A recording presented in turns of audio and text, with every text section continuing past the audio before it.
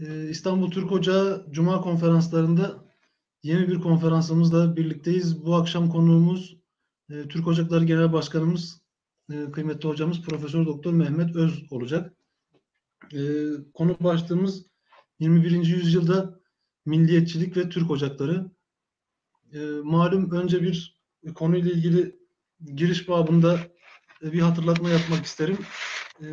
Türk Yurdu dergisinin Nisan 19, Nisan 2020 sayısında e, İstanbul Türk Ocağı Başkanımız Sayın Cezmi Bayram'ın bir yazısı yayınlanmıştı ve orada e, Türk ocaklarına ihtiyaç var mı sorusu üzerinden Türk ocaklarının ve Türk milliyetçiliğinin güncel durumunu tartışmaya açmıştı hocamız.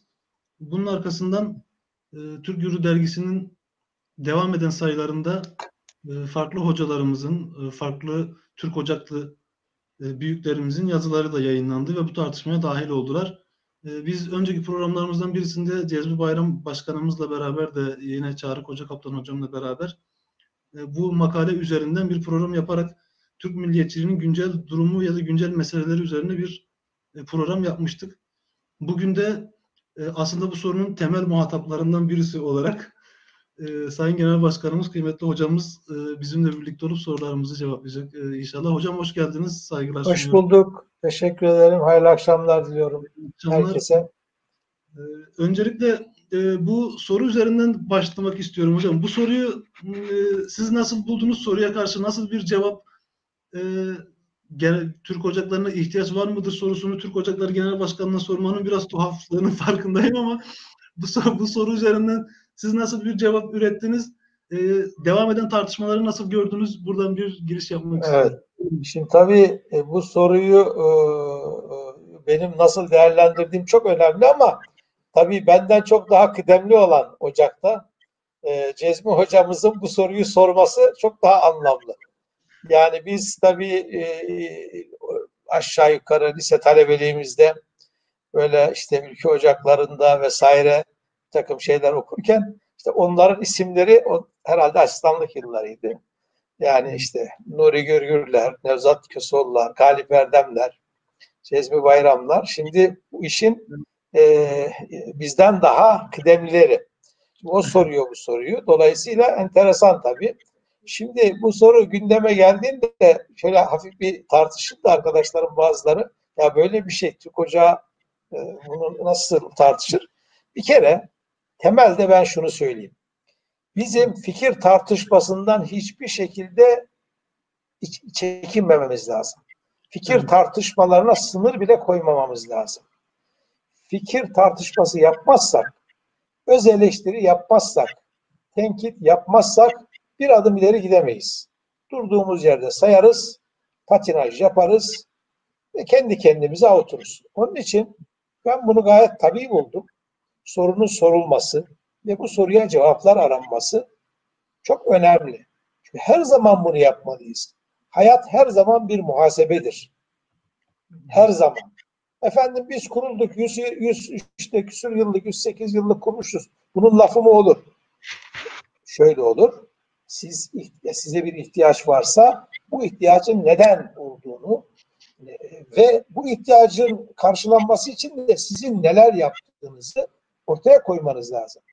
Fikir tartışması iyidir. Müsaademi efkar da iyidir. Fakat tabii şimdi bu e, az önce de gösterdim ama bu sayılar da yanımda. Hani onların kapaklarından ilham almıyorum. İşlerinde yazanları da okudum. Oturuyorlar burada. Şimdi orada biraz tartışma oldu ama yeterli tartışma olduğu kanaatinde değilim ben. E, tabii isim ayırt etmeyeceğim yani arkadaşların fikirleriyle ilgili ama yeni geldiğinde bazı şeyleri söyleyeceğim. Şimdi bir kere bu çok önemli. Bir kere Türk milletinin meseleleri ve aslında bütün insanlığın meseleleri bizim meselemizdir. Dolayısıyla bizim meseleleri e, halının altına süpürmek, meseleleri görmezden gelmek, meseleler üzerinde fikretmekten geri durmak gibi şeyimiz olamaz. Bakın bugün Türkiye'de e, tabii bir takım sıkıntılar yaşıyoruz biz. E, siyasi süreçler olsun, dış meseleler olsun, içeride uğradığımız bir takım saldırılar olsun. Bütün bunlar bizi sarstı. Ve bunlar e, bir takım e, etkileri dolayısıyla bazen e, yeterince e, serbest bir şekilde bazı konuları tartışmamızın da önünü aslında kapatıyor. Halbuki bizim vatanın birliği, bütünlüğü, Cumhuriyetimizin temel değerleri etrafında her türlü fikri çok rahatlıkla tartışmamız lazım. Hiçbir şeyden çekinmememiz lazım. Bu tartışma onun için çok önemlidir. Bakın entelektüel bir hareket olarak ortaya çıkmış bir Türk milliyetçiliği. İşte or oraya geliyordum. Yani şimdi ikinci meşruiyet dönemine hemen atıfta bulunacaktım. Tabii sen benden e, inşallah daha fazla yaşayacaksın. E, hemen e, lebdebeden leblebiyi anladın. Öyle söyleyeyim. Şimdi bakın ikinci meşruiyet dönemi neden çok önemli? Şimdi biz tarihim benim çok üzerinde durduğum konulardan biri şu. Tarihimizin çeşitli dönemlerini ve şahsiyetlerini çarp, birbirine çarpıştırmayalım diyorum.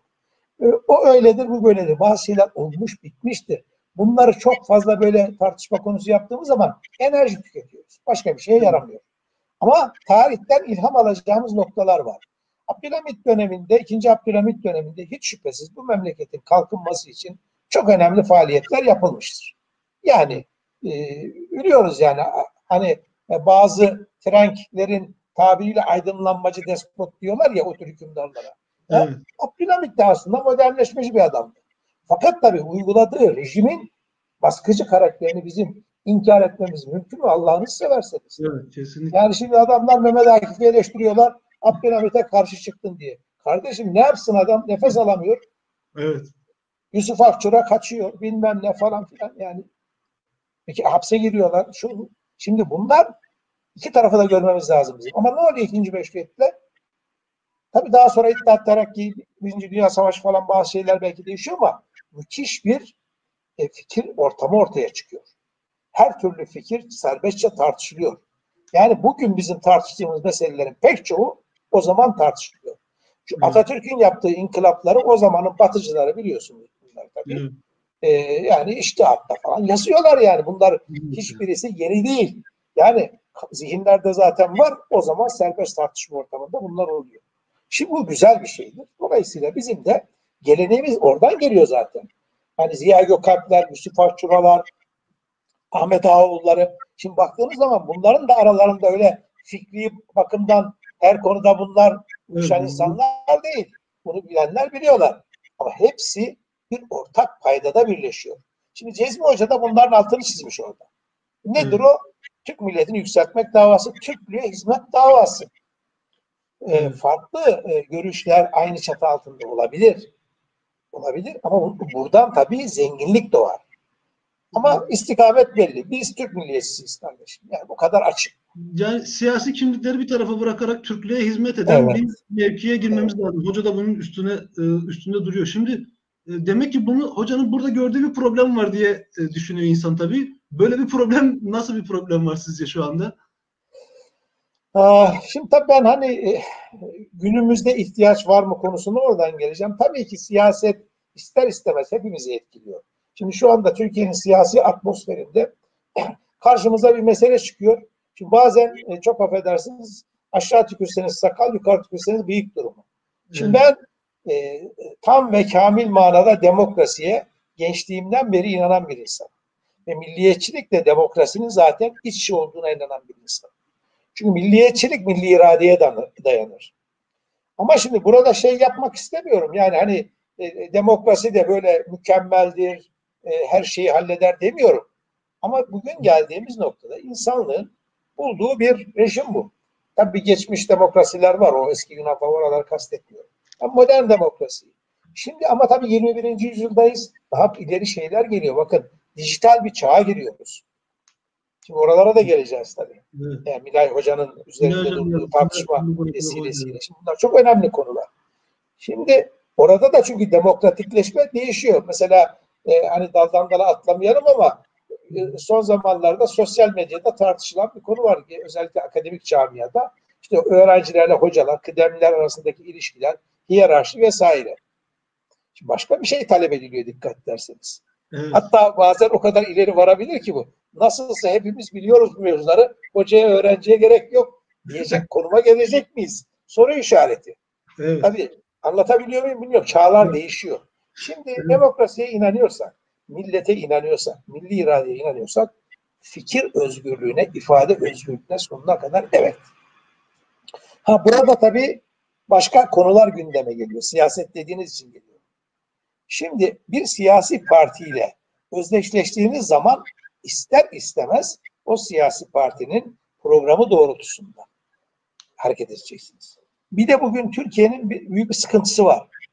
Şimdi Türk ocakları parti siyasetinin dışındadır. Ama Türk ocakları siyasetin dışındadır diyemeyiz biz.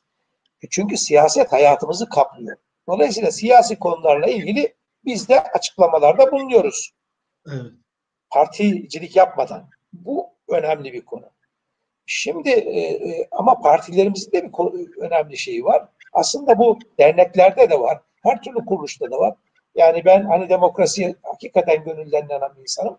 Maalesef bu hiyerarşik yapılar ifade hürriyetini de kısıtlıyor. Şimdi siyasi partiler kanun değişmediği için, seçim kanunu değişmediği için Türkiye'de bir sıkışmışlık var. Ee, yani yeni bir sisteme geçtik diyelim. Yeni bir sisteme geçtik. O sistemin icaplarına göre diğer yönleri değiştirmedik. Bunun getirdiği sıkışmışlıklar var. Her neyse buralara çok fazla dalmayayım. Ben gene asıl konumuza döneyim. Aslında siyasi şunu... partinin arka bahçesi gibi davranırsanız sizin alanınız daralır.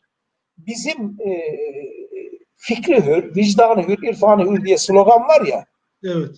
Bu slogan olmamalı. Bakın bu sloganın içini doldurmalıyız. Gerçekten böyle nesillere ihtiyacımız var. Düşünen nesillere belki bana size çok ters gelebilecek fikirleri bile serbestçe savunması lazım. Çünkü oradan o farklı fikirlerden güzel bir şey çıkar. Beş, diyelim bunun onu abuk subuk olur da on birincisi iyi olabilir. İnsanlara insanların düşünmesini ve düşünmesini, düşünceyi tabii ifade etmek lazım. Şimdi ben beynimin içinde düşünüyorum. Burada zaten herkes yani kimse kimseye bir şey demiyor. Ama bunu ifade edemiyorsanız, yazamıyorsanız, çizemiyorsanız, yazdığım zaman başıma bir şey gelir mi diyorsanız sıkıntı buradan başlar. Bakın onun için ben bu tartışmayı önemsiyorum ve dikkat ederseniz hiç müdahale falan da olmadım. Yani böyle olsun böyle olsun. Sadece teşkilatla ilgili çok sıkıntılı şeyler olmasın onlara özen gösteriyoruz. Yoksa fikirlere bir şey demiyorum. Bakın burada Milay Hoca'nın fikirlerinde çok mesela şeyler var. Hı hı. İleri noktalar var. Okumuşsunuzdur.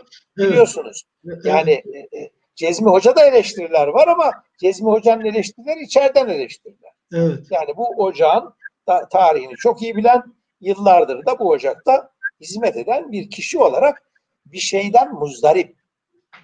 Şimdi bu konuyu e, e, şöyle izah edeyim. Ben Harsiyeti Başkanıydım biliyorsunuz. Evet. Ee, daha önceden yani 2008'den 2012'ye kadar Harsiyeti Başkanıydım.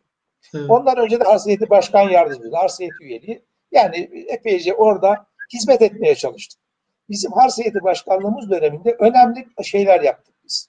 Mesela millet, pardon, milliyetçilik, ulusçuluk. Türkiye'de o zaman e, ulusalcılık çok tartışılıyor. Yaygındı. Hala da var ama yani hani şimdi o kadar şimdi ö, siyaset öyle bir hale geldi ki Türkiye'de milliyetçiler e, siyasi yelpazenin iki tarafında e, böyle e, dağıldılar. E, evet. Onların tonları arasında farklar var ama yüzde yüz değil bence. Yani evet. e, hani siyasi alana çok girmek istemem ama oralarda da geçişkenlikler var. Evet kesinlikle. Onu da görüyorum. E, mesela Cumhuriyet Halk Partisi e, içinde ulusalcı bir damar var ama o ulusalcı damarın çok uzağında başka şeyler de var. var. Bu tartışmaları biz o zaman ele aldık. Bakın, çok önemliydi. Peşinden bir yıl sonra e, rahmetli Durmuş Hocaoğlu vesaire işte Nevzat abi vardı. Nedim Hoca da gelmişti e, bu Söğüt'teki toplantıya. Daha sonra ise başka toplantı yaptık. Kozmopolitizm. Bakın şimdi küreselleşme olgusu çerçevesinde bir küreselcilik ideolojisi ve kozmopolitizm evet. e, enjekte ediliyor dünyaya. Buna evet. karşı neler yapabiliriz tartıştık. Bir yıl sonra da 2011'de işte Cezmi Hoca'nın bahsettiği yeni medeniyet tasavvurumuz konusunu e, bu sefer ama sadece harsiyeti olarak değil, Türk Ocakları Şubelerinin istişare toplantısında ben, Cezmi Hoca, birkaç arkadaşımız bu konularda hazırlıklı gittik ve biz bunu ortaya koyduk. Şimdi bu yani başkaları, bazıları yanlış anlayabilirler. Sanki bazı farklı kesimlerde de bu medeniyet tasavvuru konusu konuşuluyor. Hı. Bakın biz orada bunu esaslı bir şekilde tartıştık ve ortaya koyduk. Çünkü Türk ocakları 2. yüzyılında geçmişini inkar, geçmişine tabii ki sahiplenerek, geçmişinden ilham alarak acaba bu yüzyıla neler söylemeli? 21. yüzyıla. Bunu böyle formüle ettik. Tabii bu formülasyon güzel ama bunun içini nasıl dolduracaksınız? İşte Evet. Cezmi Hoca'nın şeyi orada. Burada Ee, mesela ızdırabı zannediyorum orada. sizin Bunun içini doldurmamız lazım bizim Türk ocakları ve Türk milliyetçileri olarak. Türk milliyetçileri olarak. Ama bunu yaparken farklı kesimlere açılacağız. İnsanlarla tartışmaktan çekinmeyeceğiz. E, hoca da bunu söylüyor. E, orada mesela Milay Hoca'nın çok ilginç e, şeyleri var, tartışmaları var ki ben yüzde yüz katılıyorum. Şimdi e, geçtiğimiz günlerde e, yani bu güz aylarında kaybettiğimiz çok değerli bir e, hocamız var. Hasan Orat. Bir Evet. düşünür ve bilim adamı. Yani hakikaten Türkiye'nin e, her, e, çok ihtiyacı olan bir insan. Bizim de hasiyeti üyeliğimizi de yaptı. Hiçbir programımızdan da e, şey yapmadı. Yani ne zaman desek hatta bazen ya Mehmet Hoca yok mu bir şey diye böyle hani ben de çünkü onları sıkmak istemiyorum çünkü her taraftan çağırıyorlar. doğru. Bu insan çok güzel e, şeyler paylaşmıştı. Ben bir tarihçi olarak ben de sık sık söylüyorum. Diyorum ki tarih çok önemli. Onu iyi bileceğiz. Onu özümseyeceğiz. Onun tabii ki ibret alacağımız yanları var. e, ilham alacağımız yanları var. Ama biz tarihte yaşamıyoruz. Erhan Bey, biz bugün yaşıyoruz ve biz geleceğe doğru yürüyoruz. Gelecek nesilleri düşünmek zorundayız. Şimdi bu paradoksu bizim aşmamız lazım. Fazla tarih konuşuyoruz. Bir tarihçi olarak söylüyorum. Biz konuşacağız da bizim mesleğimiz. Ben genel olarak söylüyorum. Ve oradaki tartışmaları çok lüzumsuz yere uzatıyoruz. Geçmişin kavgasını yapıyoruz. Bu bize bir şey sağlamaz. Yani Aslında Güncel bakmamız lazım. Onun için- arıyoruz yani. efendim Güncel siyasete tarihten malzeme arıyoruz gibi bir durum söz konusu Ya, aslında. yani maalesef öyle. Maalesef öyle. Dizilerde bile bunu yapıyoruz. Yani bunlara hiç gerek yok. Böyle mesaj verebilirsiniz. Ben ona bir şey itiraz etmem. Yani tabii ki mesaj verebilirsiniz. Ama bu çatışma unsuru olmamalı. O çok girmek istemiyorum. Ama şu. Yani biz e, geçmişe çok fazla takılıp kalmayacağız. Geçmişin esiri olmayacağız. Geçmişin bir takım bağları varsa onlardan da kurtulacağız. Şimdi bakın hep söylediğim bir şey var. Yani biz e, Göktürkler Hunlar gibi değildi. Evet. Uygurlar Göktürkler tam olarak. Bir tabii ama bu bir şeydi. E, zincirin Süreçti. halkaları. Süreçtir. Tarihsel oluşum sürecidir. Yani onu geçelim. Osmanlı'nın 13-14. yüzyılı 15 ile aynı değildir. O 17 ile o 19'da. Yani böyle bir şey yok. Tarih değişiyor. Onun için Yahya Kemal'in Ahmet Hamdi Tanpınar'ın kullandığı imtidat kavramı. Yani değişerek devam etme. Bu çok Evet. önemli. Biz millet olarak milletleşme süreci de böyledir. Bizim köklerimiz tarih öncesine gidiyor. Ama bu devam ediyor bu oluşum süreci.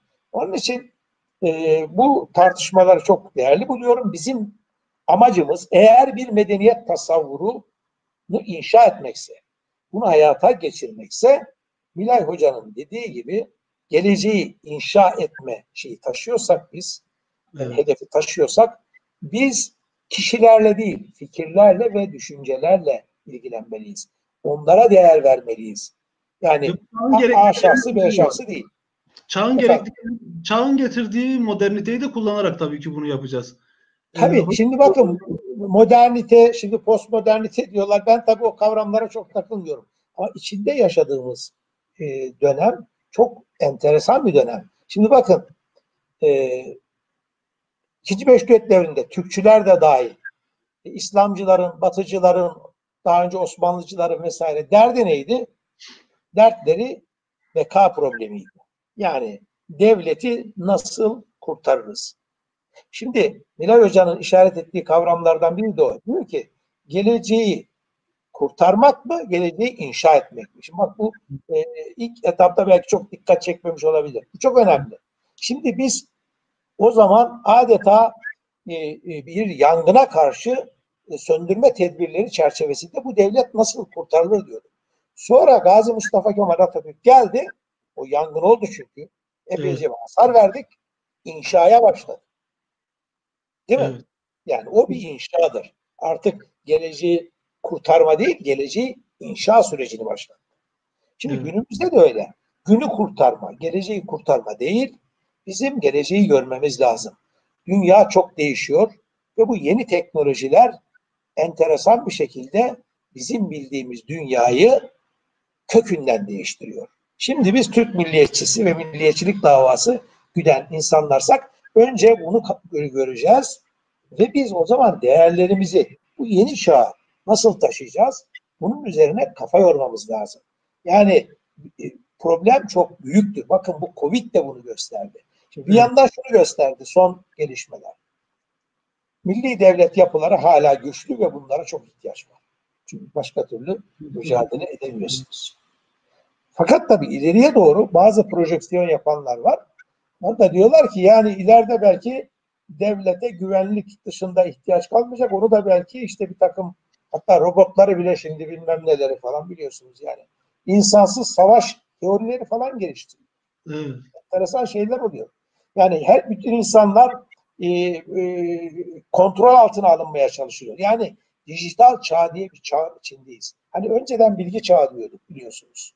Hı hı. İletişim, bilgi şimdi dijital çağ. Dijital çağın çok enteresan e, gelişmelere gebe olduğunu görüyoruz. Covid-19 salgını da e, bazılarına göre tabii şimdi komplo teorilerine çok girmek istemiyorum. Bu yolda manipüle edilen bir şey olabilir evet. diye şüphelenenler var. Yani insanları kontrol etmek hatta beyinlerin içine kadar. Bütün hareketlerini. Şimdi Çin'deki o e, gözetim sistemini biliyorsunuz değil mi? Evet, yani evet. insanlara puan veriyorlar. Hareketlerinden, davranışlarından. Eğer o sınıfta kalırsan ne, ne bileyim şu şeyden faydalanamayacaksın. Bir takım şeyler var. Bakın bu korkunç bir şey. Yani Orwell'u falan geçtik artık. Evet. Geçtik. Enteresan bir yere gidiyoruz. Dolayısıyla e, bizim milli varlık, milli değerler, milli beka gibi problemleri düşünen insanların bütün bu e, çerçeveyi çok iyi değerlendirmesi lazım. Ben tartışmayı biraz bu zeminde e, görüyorum. E, o bakımdan bizim Türk milliyetçilerinin e, bu konulara kafa yorması lazım. Bu yeni dönemde biz neler yapabiliriz? E, insanlarımızı bu yeni döneme nasıl hazırlayabiliriz? Ve değerlerimizi bu yeni dönemde nasıl yeniden yorumlayabiliriz? Bunun üzerine düşünmemiz lazım. Evet hocam şimdi söylediklerinizden temel olarak aslında e, benim e, not alıyorum bir taraftan. 21. Ee, yüzyılda milliyetçiliği demokrasi ve fikir özgürlüğünden bağımsız düşünemeyiz. En önemli vurgunuz bu. Bir de tabii bu yeni dünya işte Milay Hoca'nın yazısında özellikle vurguladı ve farklı yazılarında da hoca bu dijital çağ meselesini ve milliyetçilik konularını çok güzel işliyor, takip ediyoruz da. Evet. Şimdi bir de bu Cezmi Hoca'nın yazısı üzerine devam eden tartışmalarda yanlış hatırlamıyorsam işte Abdülkadir İlgen Hoca'nın da yazısında vardı. Ee, işte bu kapitalizm meselesi. Cezmi Hoca yazısında kapitalizm tartışması bitti diyor derken aslında kapitalizmin bittiğini bu bunun artık kabullenildiğini ifade söyledi bizim kendisiyle yaptığımız programda da. Şimdi bu e, kapitalizmin artık yerleştiği, oturduğu, e, dijital bir çağın geldiği ve burada demokrasi ve fikir özgürlüklerinin kaçınılmaz olarak e, milliyetçilikle bir arada devam etmesi gerektiği bir süreçte mevcut durum içerisinde e, biz Türk Ocaklılar olarak, Türk o, Ocağı mensupları olarak e, acaba o 1911'deki 12'deki misyona çok yakın bir misyon içinde mi hareket ediyoruz yoksa devam eden bu sürecin aslında sadece ayaklarından birisi miyiz? Buraya, buraya milliyetçiliği nasıl konumlandıracağız bundan sonraki süreç için? Evet. Şimdi tabii kapitalizm tartışmaları da e, enteresan bir şekilde e, canlanıyor. Belki e, farkındadır e, değerli dinleyiciler. E, Time dergisinde e, Great Reset diye bir e, şey çıktı, kapak bizim basına yansıdı. Ee, mesela Yeni Çağ'da Arslan Bulut yazdı. Başka yerlerde de vardı. Ben o yazıyı falan indirdim, okudum. Hatta onu biraz özetleyerek bizim arkadaşlara da yolladım ama duruyor herhalde. Yayınlanmadı. Ama son yazımda kısaca değindim ona. Şimdi orada e, kapitalizmi yeniden yorumlama şeyleri var. Daha böyle çoğucu, daha böyle tırnak içinde sevimli bir kapitalizm yeniden mümkün olabilir diye e, büyük firmalar işte karar alma süreçlerinde veya istihdamda e, katılımı sağlayarak değişik ırklar, cinsiyet grupları vesaire gibi böyle güzellemeler yaparak kapitalizmi şey yapıyorlar. Tabii küresel kapitalizm çok güçlü. Şimdi bunu kabul etmemiz lazım. Ama bunun bir de böyle insanlara güzel ambalajlanıp sunulmasıyla uğraşıyorlar. Yani şu anda yaptıkları şey bu. Şimdi biz tarihsel olarak bakıldığında tabii ki kapitalist anlayışa çok ters bir gelenekten geliyoruz. Şimdi gene tarihe dönüyoruz diyeceksiniz ama mecburen oraya dönmemiz lazım. Kaçınılmaz sonuç. Kaçırılmaz bir şey. Çünkü toplumumuzu tanımamız lazım. Bizim toplumumuz daha dayanışmacı bir toplum. Şimdi biliyorsunuz Mehmet Genç Hoca var. Evet. Ee, onun e, bu konudaki e, teorileri meşhurdur. Ee, hani Ötüken'den de çıktı Evet. makaleleri biliyorsunuz. Ee, orada bir şey söylüyor. Yani bizim Osmanlı dönemindeki yapılan bir takım uygulamaların e, mantığını açıklamaya çalışıyor ve oradan şu sonuca kabaca e, ben varıyorum. Hocanın kastettiklerini onun adına söylemeyeyim. Ya bizim e, bizim tarihsel dinamiklerimiz kar, maksim, maksim, maksimumca kar etme amacına dönük değil, toplumun ihtiyaçlarının karşılanmasına dönük olduğu için bir zihniyet farkı var. Evet. Şimdi bu tamamen değişti? Değişmedi tabii ki. Biz e, değişti ama ya, tamamen değişmedi. Çünkü Evet. biz hala o dayanışmacı özelliklerimizi e, koruyoruz. Dolayısıyla şimdi geçmişle bugünü kıyasladığımız zaman o zaman da mesela bizim Türk milliyetçileri milli iktisat siyasetini savunuyorlar. Ha, tabii liberalizmi savunanlar da var. Bakın Türk Ocaklar içinde çok farklı şeyler vardı. Bunu da Evet. görelim. İttihat Terakki'de de vardı bu. E, bu, bu farklı farklı görüşler ama Ziya Gökalp daha çok biliyorsunuz solidarizm, dayanışmacı bir anlayış. E, yani do- dolayısıyla bizim çizgimiz bu. Tarihten getirdiğim. Peki günümüzde, şimdi günümüzde tabii çok değişik bir ortama giriyoruz. Erhan Bey yani e, şimdi mesela meslekler ne olacak? E, işte büyük şirketler küresel çapta bir he- hegemonya kuruyorlar. Bu kırılacak mı yoksa büyüyerek mi devam edecek? Bütün bu soruları e, Türk milliyetçilerinin ekonomi alanında da düşünmesi lazım. Yani çünkü biz dünyadan tecrit edilmiş değiliz bakın. Bir şey daha söyleyeyim. Bu, bu tam buraya geldiği için onu söylemem lazım. Yani biz böyle içe kapanık bir anlayışla dünyayı anlayamayız. Türk milliyetçileri dünyayı tanımalı. Bakın e, bizi gençler izliyorlarsa onlara özellikle tavsiyem. Rahmetli Erol Güngör aslında genç yaşta öldü. Bizim gençlik e, dönemimizin en önemli mütefekkiriydi. Türkiye'nin en önemli mütefekkiriydi o dönemde. Benim şahsi kanaatim bu. Rahmetli Ercüment Kur'an hocamız biz asistan olduğumuzda e, yanına gittik. İşte bizi karşılıyor tabii Ercüment Hoca. Yani gidemli bir hoca 60'lı yaşlarında bizim şimdiki yaşlarımızda diyelim. Biz daha çömeziz gittik e, yeni asistanız. Bakın dedi e, bu e, siz dedi e, fikri alanda dedi şu kişileri iyi takip edin. Bir dedi sağda Erol Güngör, solda Atilla İlhan. Evet. Bu Ercüment Hoca'nın bana tabii biz biz zaten Erol Güngör zaten okuyoruz yani. Hani lisansı bitirmişiz. Erol Güngör. Onlar bizim tabii e, okuduğumuz şeyler. E, memnun olduk tabii hocanın da. Zaten biliyorduk kendisi milliyetçi bir hoca, e, hocamız. Ama bunu söyledi. Bunlar da çok önemli iki mütefekkir. Bakın Atilla İlhan ismi de çok altı çizilecek e, bir isim. Önemli. Her fikrine katılmayabilirsiniz ama düşünen bir insandı Evet. sorgulayan bir insan. Şimdi Türk milliyetçileri açık olmalı. Farklı e, dünyalardaki fikir adamlarını e, e, okumalı. Şimdi burada e, ufak bir e, sistemde bulunacağım da onun için lafı biraz uzattım. Şimdi geçenlerde biz Nurettin Topçu'dan bir şey paylaştık öğretmenler günü vesilesiyle. Ve Türk Ocağı'nın hesabının altında bunlar Turancılıktan vazgeçti Anadoluculuğu pompalıyorlar diye Üstelik yani entelektüel e, seviyesi olan kişilerden yorumlar okudum ben ve çok üzüldüm. Maalesef. Biz bu kadar dar mı bakıyoruz? Şimdi Nurettin Topçu bu toprakların çok önemli bir değeridir. Yahya Kemal öyledir. Türk ocaklıdır Yahya Kemal. Evet. Yani şimdi bunların Anadoluculuğunu ben e, Anadoluculuğuna katılmam. O ayrı bir şey. Evet. Ama bunların çok güzel fikirleri var. Neden biz fikirden korkuyoruz? Ya hatta bu insanlara atıfta bulunmaktan böyle bir şey olabilir mi? Ben icabında Marx'ı da okuyacağım, Weber'i de okuyacağım, ne bileyim Kuhn'u da okuyacağım, bilim felsefesi şey yapıyorsam Popper'ı da okuyacağım. Veyahut işte ne bileyim daha yakın dönemlerden Gademer'i de bunları okuyacağız. Evet. Yani bizim bunları bilmemiz lazım. E, hele hele manevi açıdan bize yakın insanların e, fikirlerini yazmamızda ne bir iş var? Hani okumak, tartışmak ayrı bir şey de tabii. Paylaşmamızda ne bir iş var? Şimdi bakın milliyetçilik milliyetçilikle ilgili Erol Güngör'ün bir lafını sürekli zikrediyorum konuşmalarımda ve yazılarımda. Milliyetçilikler aynı zamanda bir medeniyet davasıdır. İşte bizim tartışmanın başına gene geldik Cezmi Hoca'yla. medeniyet davası. Çünkü milliyetçiliğin bir medeniyet iddiası yoksa Evet. bizim Türk Ocağı'nın kuruluşunda e, milletin saadetini, Türklüğün saadetini, beşeriyetin saadetinde gören zihniyette biz e, hemhal değilsek o zaman bizim içine kapanarak yapabileceğimiz fazla bir şey yok. Bakın bu önemli bir noktadır. Bizim geçmişteki ecdadımız bunu başka formlarda yapıyordu. Çağ değişince şimdi bizim onlar gibi e, kılıç da olarak ama öbür taraftan gönülleri de fethederek fütuhata girmemiz diye bir şey söz konusu değil. Bizim yapacağımız şey nedir?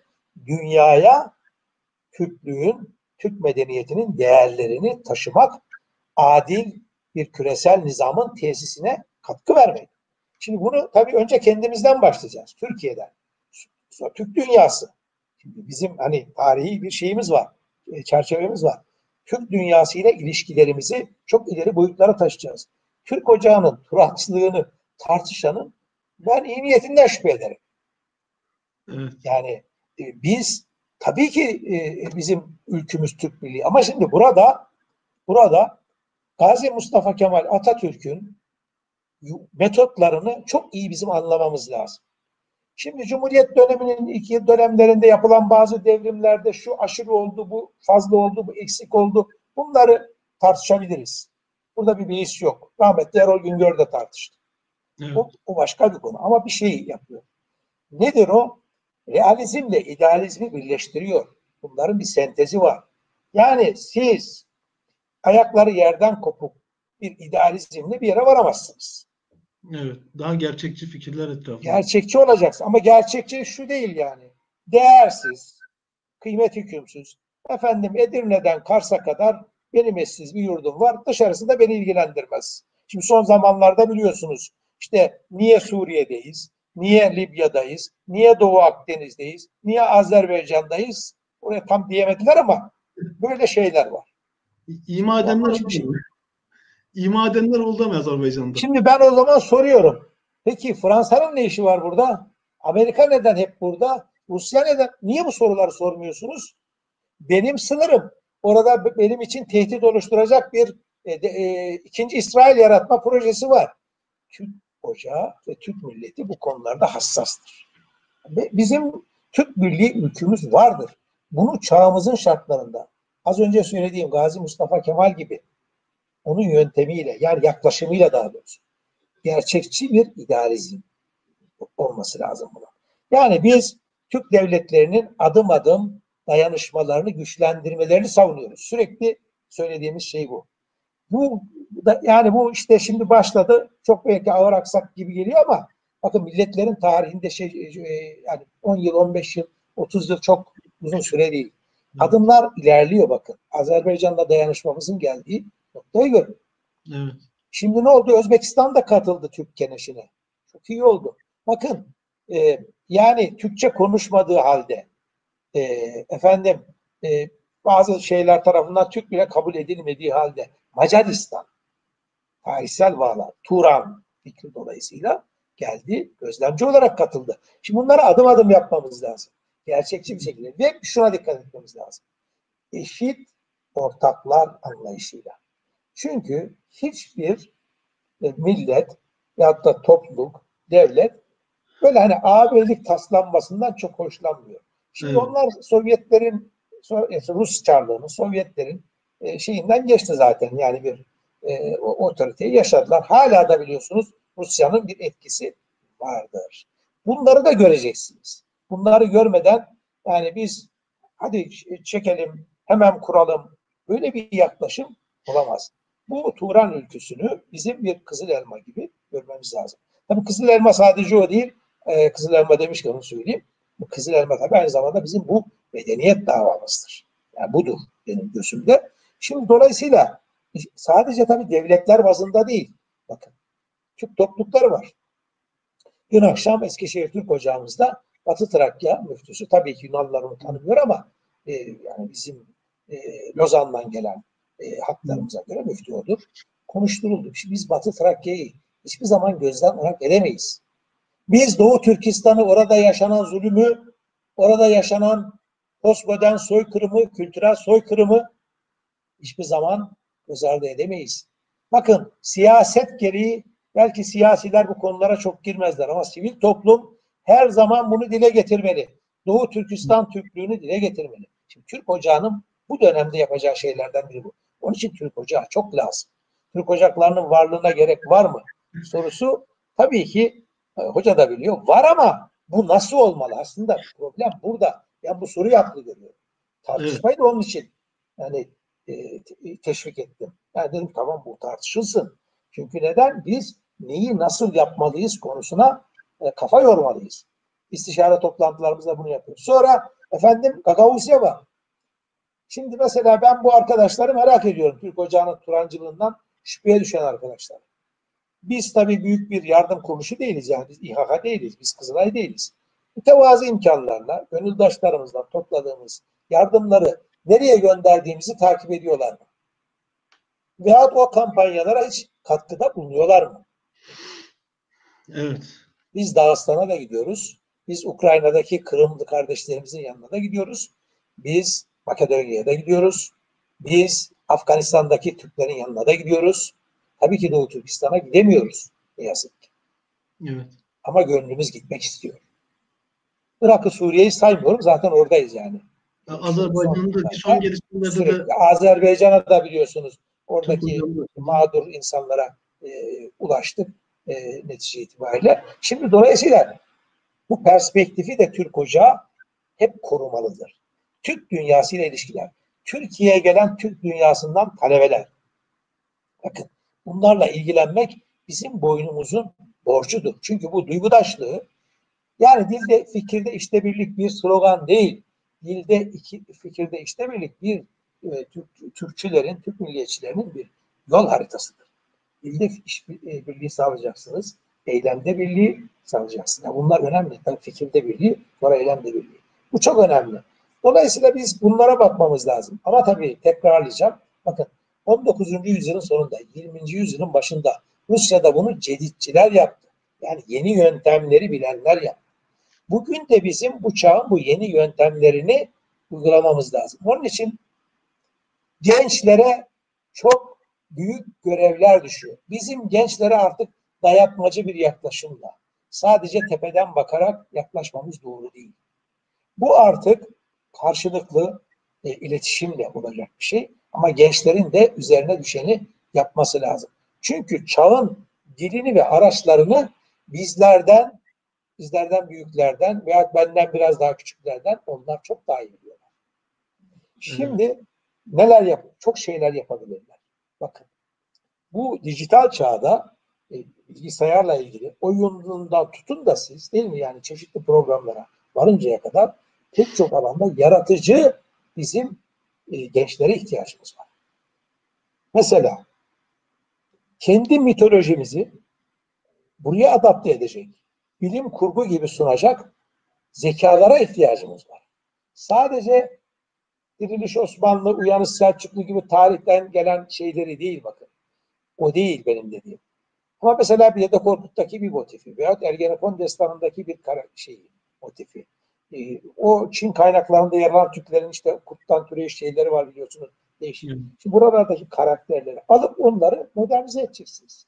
Yani bu benim uzmanlık alanım değil yani ama sadece böyle söyleyebiliyorum. Ya bu önemli bir şey.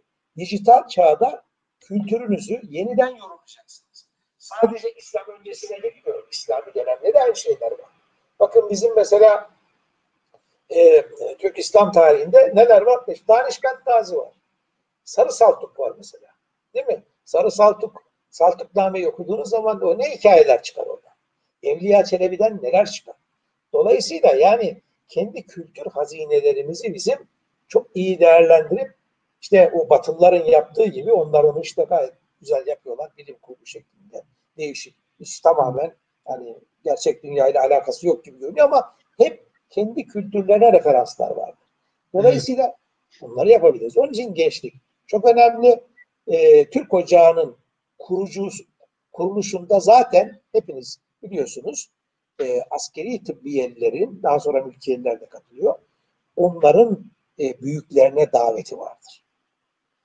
E, yani ilk kurulduğu dönem neredeyse kapanıyor gene öyle bir şeyle, hamleyle. Hamdullah Supi ki çok önemli. Onun e, şeyinde, genel başkanlığında uzun yıllar devam ediyor. Şimdi bu gençlik meselesi üzerinde Türk Hoca başından beri duruyor. Biz ne yaptık son dönemde? Bunu daha sistematik bir formata dönüştürelim. Türk Ocakları Akademisi veya işte İstanbul'da Eskişehir'de olduğu gibi Milli Mefkure Mektebi adı altında gençlerimizi burada e, konunun uzmanlarıyla buluşturalım. E, şimdi bu tabi burada bir şey elde edeceksiniz, bir birikim elde edeceksiniz. Ama bunu ileriye taşıyacak olan gençlerin kendileri. Şimdi yöntem çok önemli. Yani bunu abi biz tabii meslek gereği akademisyenler bunu hani çok sıradan bir şey olarak söylüyorlar ama bunun çok farkına varmamız lazım. Dijital çağda bilgiye ulaşım kolay. Ama hangi bilgiye? Evet. Hangi bilgiye? Sağlıklı bilgiye ulaşımın yollarını bizim görmemiz lazım. Yani tarihle ilgili basma kalıp şeylerle karşılaşıyoruz. Siz de şikayet ediyorsunuz muhakkak. Yani soruyorlar bana bazen hemşeri gruplarından, bazen ocak gruplarından. Hocam şöyle bir şey var. Ne diyorsun? Mesela çok tipik bir şey söyleyeyim.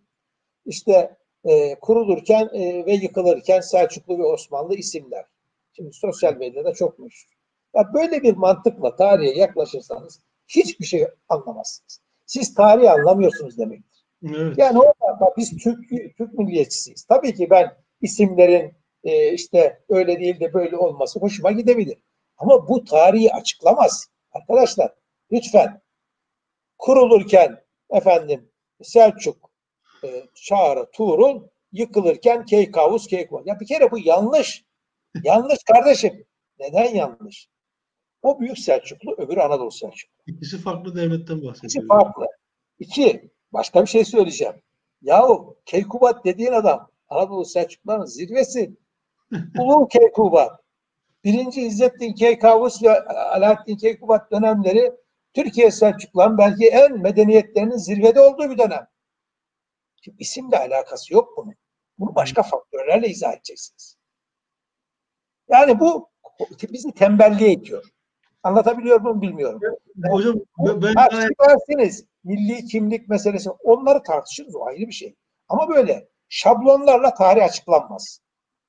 Onun için Türk milliyetçileri araştırmalı, sorgulamalı ve düşünmeli. Baştaki noktaya geleyim yani Erhan Hocam. yani eleştirel düşünce, fikir evet. tartışması.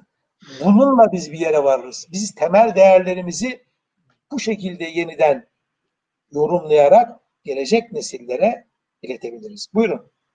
E, hocam estağfurullah. Yani ben gayet e, çerçeveyi gayet iyi oturttum zihnimde. Fakat dönüp dolaşıp e, ben de güncel üzerinden soruyorum soruları. Çünkü esas tartışma bu. Şimdi Bu da günceldi benim söylediğim ama. Çünkü evet, bakın evet. neden güncel? Çünkü bu bizim zihniyetimiz. Bakın zihniyetimizi değiştirmemiz gerekir diyorum ben. Kolaycılıktan evet. ve şablonculuktan uzaklaşalım diyorum. Meseleleri bak orada onu vurgulamaya çalıştım. Belki tekrar altını çizeyim. Yöntem çok önemli. Bak bu çağ diyorum. Bu çağda bilgiye ulaşıyoruz. Ulaşıyor. Ama hangi bilgiye? Şimdi tahkik diye bir şey var. Hep söylüyorum. Yani imanda biliyorsunuz taklidi iman var, tahkik iman var. Tabii ki avam genel itibariyle taklidi iman olur yani normaldir öyle karşılanır. Fakat düşünen adamsanız siz sorgulayacaksınız kardeşim. Tahkik edeceksiniz. Ben bir şey diyorum diye bu doğru olmaz. Siz bir yani bunu tahkik edeceksiniz. Acaba bu dediğini delilleri nedir? Kanıtları nedir? Ee, vesaire. Başkası başka bir şey söylüyor mu? Yani bu, bunun üzerinde ben duruyorum. Çünkü milliyetçilik de böyle bir şey. E, bakın şimdi e, Erol Güngör'ün kültür değişmesi ve milliyetçilikte bir şeyin altını çok e, güzel çizmiştir o dönemde. Ha, bugün artık bunlar e, herkesin kabul edeceği şeyler ama biliyorsunuz bizim ikinci meşruiyet döneminde ve hatta bizim gençliğimizde hep şöyle bir slogan vardı. Biz Batı'nın tekniğini, ilmini alalım ama e, kültürünü e, bir tarafa bırakalım. O, onu kapıdan sokmayalım. Halbuki e, şöyle bir gerçek var.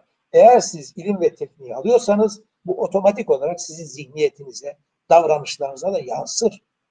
Burada şunu demiyorum. Batıcılar vardı. Abdullah Cevdet gibi. Batıyı gülüyle dikeliyle ama biz arkadaş bırakalım bu bizim eski şeyler. O değil. O değil. Ama şunu bileceksiniz. Bir alet size geliyorsa o sizin hayatınızda başka değişiklikleri de getirir. Yani teknoloji basit bir şey değil. İşte bu alet de öyle. Şimdi bizim düşünme biçimimizi, biçimimizi, hareketlerimizi çok etkiliyor. Bakın bugün televizyonlarda çok e, vahim tablolarla karşı karşıya kalıyoruz. Aile programları bu pandemi dönemi olunca ister istemez bunları da görüyorsunuz. Yani normal dönemde biz okulda oluyorduk, onları görmüyorduk. Şimdi görüyorsunuz. Şimdi bakın fecaat şeyler. Neden? Çünkü sosyal medya vasıtasıyla ilişkiler kuruyor. Sosyal medya. E, ne oldu? Alet geldi.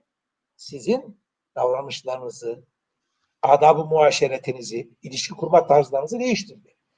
Bu çok önemli. Kültür değişmesi ve milliyetçilikte bunun altını çizer kalınca yani o zaman biz ne yapacağız? Tabii milli kültürü nasıl biz milli kültürün temel unsurlarını dondurmadan nasıl dinamik yorumlamayla geleceğe taşırız? Bunu yapacağız biz. Değerlerimizi nasıl gelecek nesillere onların e, diliyle aktaracağız ya onlar bizden bunu alıp kendileri aktaracaklar. E, buna bakmamız lazım. Evet yani hocam ya şeyden yani güncelden aslında. Yani siz de örnek verdiniz e, işte girişte. E, Abdülhamit döneminden meşrutiyete geçiş bizim için çok güzel örneklerden birisi. Sık sık hepimiz vurgularız. Yani Abdülhamit'in endişeleri, kaygıları vesaire devletle ilgili e, içinde bulunduğu konjöktür haklı endişeler onu diğer tarafın da haklı olduğunu gösteren farklı politikalara itti. Ve bir farklı muhalif kitle oluştu. Şimdi bu sonraki dönemlere de tesir etti. Bugün de bugün güncelden kastım şu aslında. E, siyasetten çok etkilenen bir toplumuz ve siz de ifade ettiniz. Bir tarafta dış politikada ve iç iç siyasette e, bariz tehditlerle karşı karşıya kaldık ve kalıyoruz. Buna karşı Türk Ocağı haklı refleksler gösteriyor. Diğer taraftan e, haklı bazı idari ya da siyasi eleştiriler var. E, onların da Türk Ocağı haklarını görerek onlar tarafında da kendince fikirleri beyan ediyor.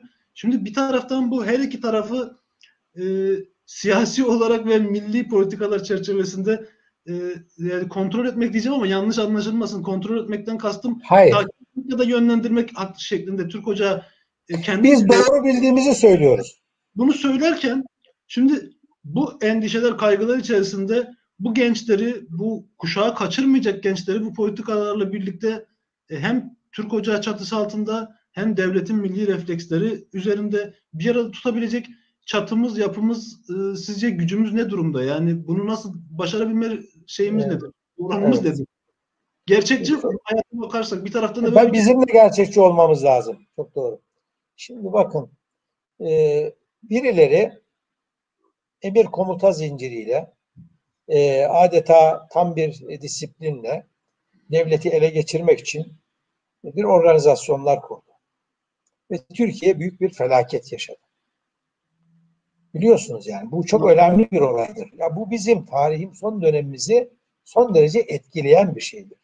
Dış bağlantılı olduğu için de e, etkileri çok derin oldu.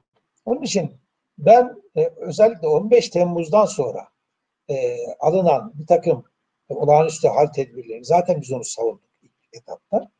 Bunları çok yerinde gördüm. Fakat orada bir şeyin altını çizdik. Biz hukuku ve adaleti muhakkak gözetmeliyiz. Çünkü bu insanlar için ilaç gibidir. Yani bizim kadim devlet geleneğimizde İslam öncesinde de, İslami dönemde de adalet ve töre. Töre hukuktur. Bunlar çok önemli kavramlardır. Nizamı bunun üzerine kurarsınız. Üzerine. Şimdi tabii sıkıntılı bir süreç olduğu için her şey böyle hani çok istediğimiz şekilde gitmedi. bunu görüyoruz. Şimdi sizin söylediğiniz şey çok önemli. Yani buraya genç gelecek, bizi dinleyecek. Peki yarın hayatta karşılaşacağı gerçekler var. Evet. Onun için biz diyoruz ki biz parti siyasetinin dışındayız. Yani buraya rahatlıkla gelirsiniz. Burada da fikirler de hürdür. Benim buradaki temel kaygım şu. Bakın bugün Türkiye'de çok ciddi bir gençlikte inanç buhranı var. Gençlikte yok bak bu sadece. 60 yaş üstünde de var. Ben Evet. kendi neslimizden insanları takip ediyorum. Ciddi bir kriz var. Ciddi bir kriz var.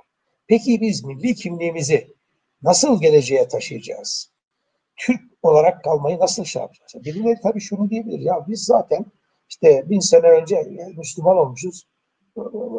İslamsız Türklük tasavvuru olanlar var. Ben onlarla hem fikir değilim, olamam. Yani bu benim için aynı zamanda bir inanç meselesi. Yani Hı. sadece bir kültür meselesi değil benim için. Benim için bu bir inanç meselesi. Ama diyelim ki kültür meselesi oldu. Kardeşim Türk milletinin hamuru 1200 yıldır belki daha fazla ama asgariden 1000 yıldır İslam'la mayalanmış. Bu bir mayadır. Bizi bugüne, bu Türklüğü bugüne ne taşıdı? Şimdi bazıları ezbere konuşuyorlar. Efendim Türk yoktu. Ne, peki biz nereden çıktık kardeşim? Yoktu da bu Türk. Nereden çıktı? Bak Türkçe geldi. Bizi buraya taşıyan dilimizdir. Evet. Kültürümüzün en temel unsurlarından. Şimdi ciddi problemlerimiz var. Yani inanç problemimiz var. Şimdi onun için şunu yapmaya çalışıyoruz. Yani gençliğimizi değerlerimizle buluşturmak, gençliğimizi hür düşünmeye alıştırmak, gençliğimizi Türk milletinin tarihi konusunda bilinçlendirmek, ondan sonra onlar kendi yollarını bulsun. Yani biz emir komuta zincirinde e, ne bileyim yani biz devlete şuradan sızalım, buradan girelim. Öyle bir kay- derde olan bir şeydi. Biz bu devlete ve bu millete hizmet etmek için varız. Bu Evet. devlete ve bu millete millet şuuru olan gerektiği zaman ama e, 15 Temmuz'da olduğu gibi meydana çıkıp devletin milletini savunan veyahut Çanakkale'de Türk Ocaklı gençler gibi ya da milli mücadelede olduğu gibi gerektiğinde oraya giden ama beyniyle, fikriyle, hizmetiyle bu milleti yüceltmeye çalışan gençler. Şimdi bakın bu çok önemli ve değerlidir. Sonra o gencimiz gider X veya Y partisinde siyaset yapar. Ben mesela siyaset parti siyasetine karşı birisi değilim kendim ama diyorum ki Türk ocağını bunun dışında tutuyoruz. Parti siyaseti önemli çünkü memleketi onlar yönetiyor. Evet. Buraya gençlerimiz gidecekler. Ama buradan aldıkları o güzel fikirleri orada uygulama sahasına koyacaklar. Yani bu bir paradoks gibi görünüyor ama bence bunun üstesinden biz gelebiliriz. Ha biz şimdi hani o ilk sorunuzun girişinde bir çağrışım oldu. Bizim İsa Musa'ya yaranmak gibi bir şeyimiz yok. Ama şuna dikkat ediyoruz. Biz hep birlikte Türk milletiyiz diyorsak biz milleti kucaklamalıyız. Bakın orada e, Cezmi Hoca'nın şeyine çok ben aynen katılıyorum. Yani biz kucaklayıcı bir milliyetçilik anlayışına sahibiz. Şimdi ben kucaklayıcı bir milliyetçilik olacağım. Memleketin yüzde ellisi burada, yüzde ellisi orada diyelim. Hani o HDP'nin belli bir yüzdesini belki oradan çıkabiliriz ama yani oraya oy veren herkesi de şey yapmıyorum. Dış, asla dışlamam. E, çok cüzi bir e, oranda e, şey var. Bölücü ayırmak isteyen grup var. E, oranın çoğunluğunun öyle olmadığını düşünüyorum. Şimdi ben hep birlikte Türk milleti izlersem peki ben bu tarafta yer alacağım. Yok orada değil burada. Bizim böyle bir lüksümüz yok. Dolayısıyla biz Türk milletinin bütününü kucaklıyoruz. E, muhafazakar olabilir, e, milli görüş çizgisinden olabilir, efendim CHP olabilir. Bunlar e, bu bizim milletimiz. Fikir olarak e, tam tetabuk etmeyebiliriz. Uyuştuğumuz noktalar vardır, uyuşmadığımız noktalar vardır. Çünkü Türk milliyetçiliğinin fikri ve siyasi belli aslında. Ama ben parti siyasetine girmek istemediğim için oradan çok konuşmuyorum. Ama bizim e, kimliğimiz belli, kişiliğimiz belli, tarihten gelen e, ne bileyim birikimimiz belli. E, dolayısıyla e, yapıp, e, yapılan şeylerin, içeride ve dışarıda yapılan şeyleri biz kendi vicdanımızla, kendi müktesebatımızla yorumluyoruz. Bakın e, şimdi dış meselelerde de ya her şey yüzde yüz doğru yapılmıyor. Bakın biz mesela şeyde çok eleştirdik. E, Süleyman Şah Türbesi, Suriye meselesinin başında da çok eleştirdik. Evet. Eleştirmedik mi? Eleştirdik. Çözüm sürecinde eleştirdik dedik ki e, e, teröristle müzakere çöz, çözüm değil çözüme getir slogan şey yaptık. Evet. Çünkü APO'ya güvenilmez, onun ipiyle kuyuya inilmez. Bir de bu PKK terör örgütünün dışarıdan şeyleri var. Ha, devlet aklı o zaman böyle bir şey uygun gördü. Tamam ama geldiğimiz noktada sonra PKK, sonra Suriye'de PKK devletçiliğinin önünü kesme o bizim savunduğumuz fikir. Şimdi biz bunun arkasında dururuz. Eksik yapıldığını da söyledik. Barış Pınarı Harekatı'nda daha ileri gitmeliydik. Eleştiririm.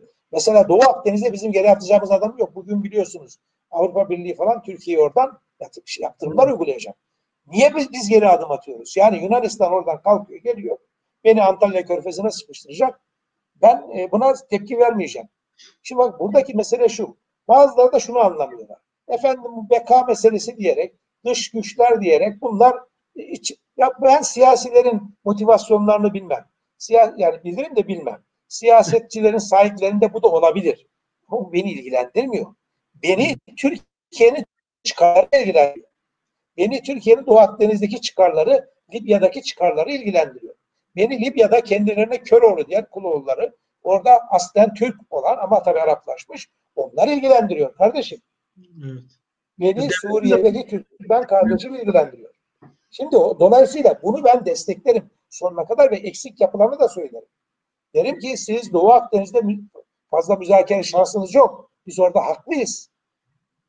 Ben Yunanistan'ın küçücük Meis adasına mı şey vereceğim, e, Türkiye kadar hak vereceğim? Böyle bir şey olabilir mi? Yani Türkiye'nin haklarını savunma konusunda sonuna kadar her yerde. Ama biz şimdi siyasi iktidarlar uluslararası ilişkiler gereği e, Kırım'daki kardeşlerimizin Kırım Tatar halkı. Gerçi orayı hükümet de savunuyor. Onu hakkını yemeyelim. Onu söylüyorlar. Ama mesela Doğu Türkistan'ı savunacağız tabii. Onlar belki söyleyemiyorlar. Biz söyleyeceğiz. Ama öbür taraftan şunu da söyleyeceğiz. Şimdi burada hem narına hem mığına. Yani biz doğrunun yanında olmalıyız. E, demokratik hukuk devleti hepimize gerekli. Hukuk hepimize gerekli. Bu çok önemli bir konu. Dolayısıyla burada sıkıntılar varsa, fikir ve ifade hürriyetinin önünde sıkıntılar varsa bunları da eleştireceğiz. Evet. Yani e, benim demek istediğim budur. Evet, teşekkür ediyoruz hocam. Son 3 dakikamız kaldı. Son e, sanırım bu tartışmayı biz daha bir müddet devam ettireceğiz. E, o yazıları olan hocadan. Vallahi devam et. Ben bekliyorum ama yani aslında ben de bir yazı yazacağım bu, bunların üzerine. Şimdi seninle bir antrenman yapmış olduk.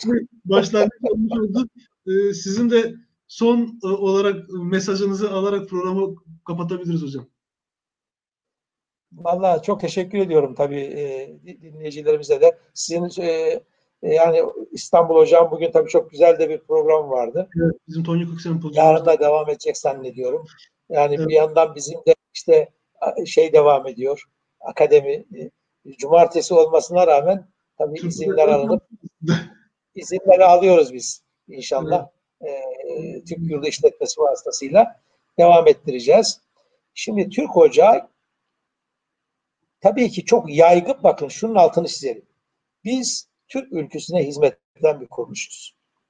Ama bu aynı zamanda insanlığa da mesaj vermesi gereken bir kuruluş.